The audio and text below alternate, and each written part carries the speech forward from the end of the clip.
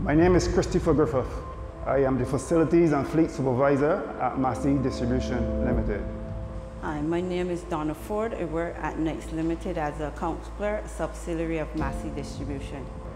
I took the vaccine because I trust the science, also because I'm a leader of my household, and also because of my job as being a supporter of the front line.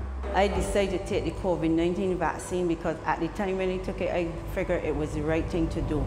After taking the vaccine and the information that was given, I recognized it definitely was the right thing to do.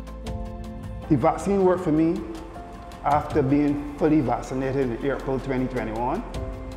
I became infected with COVID in August. I had mild symptoms. My 14 days in isolation, I just had one day of a runny nose. All my other days was normal. In that respect, the vaccine worked for me, and I think they could work for you.